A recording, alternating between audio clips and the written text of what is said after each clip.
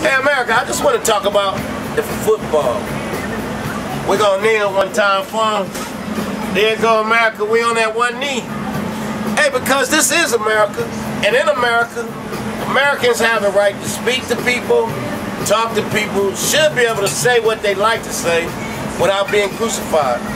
And I just hope that as a people, as all one denomination together, as a whole, instead of each individually part and apart. It's just no good, America. Let's stay together like the American flag says, one united, all of us together. One people. Hey, so y'all gotta get together and let's get on that one knee if we have to and put them prayers up for those people in Puerto Rico.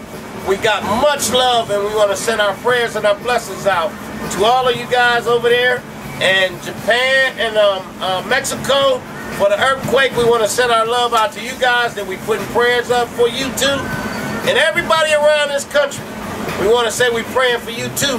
And we want you guys to pray for us as well, that we can keep on doing what we do. And hopefully we'll get to see you soon. Until next time, when I come back in a little while, peace, love, soul, and barbecue.